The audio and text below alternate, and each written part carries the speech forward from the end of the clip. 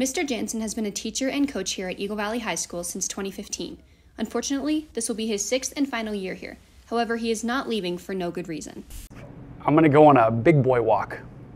Uh, in total, it's about 7,800 miles, uh, which is kind of, it will cover the Appalachian Trail, the Pacific Crest Trail, and the Continental Divide Trail, also known as the Triple Crown of long distance hiking trails in North America.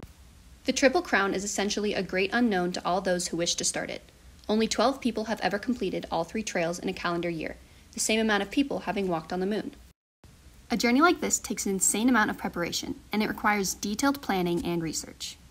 You know, just like running, uh, I will be taking a break after the cross country season to kind of let my body return to, as uh, Kirshner would say, as Kirshner would say, homeostasis, and uh, and uh, let's see, just uh, and then I'll, I'll resume running with, with, with about a month to go, as well as probably hitting the weight room, probably walking around with a pack in the cold with uh, my dog Kimbia back in Kansas City for many hours a day.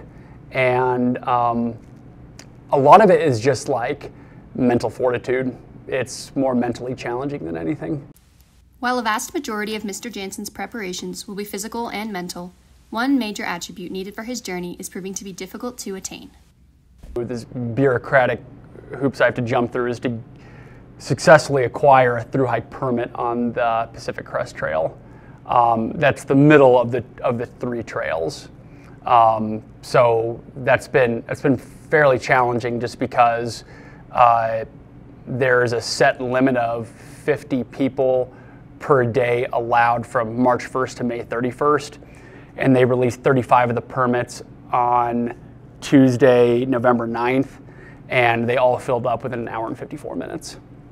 Every single one, all 3,220, um, which is dumb because not all 3,220 people are going to through hike it.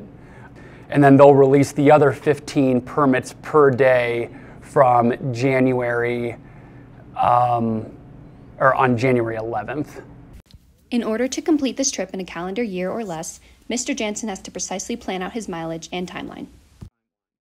And my goal is to hit about a marathon a day, average, for 365 days. So my timeline, start the Appalachian Trail by uh, February 3rd, my birthday, and my goal is to get through it in 89 days. Um, transition to the PCT, start by about May 5th or so, and get off the trail for my friend's wedding by about Cascade Locks, Oregon, which is on the Columbia River between Oregon and Washington. And then I'll have about 600 miles left of trail, which at the rate I'm going, my goal is to get through that in about three weeks or so. And then uh, get shuttled over to East Glacier, Montana, the Canadian border, and then hike southbound. Um, my goal is to get through Colorado by October 31st, Halloween-ish, or maybe the first bit of November down by Pagosa Springs. And then uh, I hope to finish by Crazy Cook, New Mexico on the Mexican border um, by the first-ish week of December. Although he is anxious and excited to leave, Mr. Janssen can't help but reminisce on his time here at Eagle Valley High School. I'm going to miss probably coaching the most. Um, that's going to be the hardest to step away from, even even for a year. Um, but you know, uh, just a, a, lot of memories, a lot of like, a lot of rapport, a lot of uh, relationships I've built over the last like six and a half years. That is really hard to go anywhere and not and not see somebody you don't know. And I feel like pr- pretty rooted here. While there are an abundance of important things to remember when attempting to complete these trails, one in particular might stand out more than the others. As Mr. Janssen learned on his Appalachian Trail through hike in 2012, deviating from a set diet on a hike like this can be detrimental.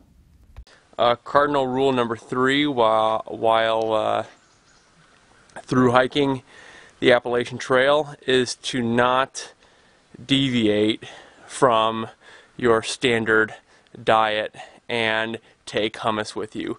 Because if you do, it turns your guts into a roiling slurry of explosive diarrhea. So it's been a great morning.